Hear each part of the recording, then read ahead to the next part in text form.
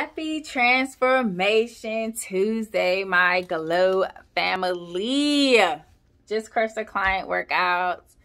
I'm about to go hit up me a workout and get my miles in at the track before this work week starts.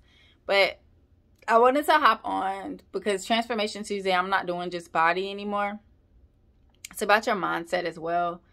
Like, and setting boundaries. That's my Transformation Tuesday message today is to set boundaries in your life um, I had learned to use the word no.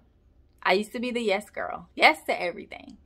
But I learned to set after my father passed. It, you know, like I tell y'all that all the time. It hit me hard, and I had to learn to set boundaries. Um, I was always on the go. I was always just running and doing things for other people, and I had to stop and think like, if I needed those people, would they be there for me?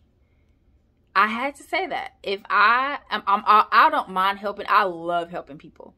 That is my love language. I love to show people appreciation. I love to show people love. I love to be there and make sure they're good.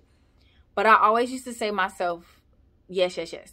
But now I'm like, okay, would that person do that for me? Would that person drop everything and go get what I needed or come and make sure that I'm okay?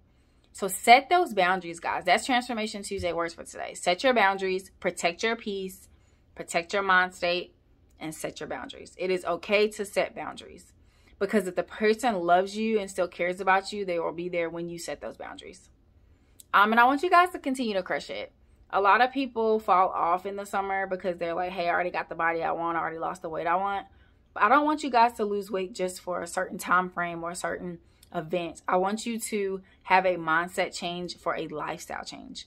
Because I've said before, we are losing people to heart attacks, to strokes, to just dying, just dying. So I want you to be healthy because when you take care of this, it will take care of you. So remember to set those boundaries, take care of your temple, and keep crushing those goals, guys. Even if it's just to go grab a walk at the park. And I don't even realize it the other day, I walked the last couple days I've walked for like five miles and didn't even realize that I had walked five miles because I have my headsets on and I'm jamming and I'm just meditating and having an amazing time.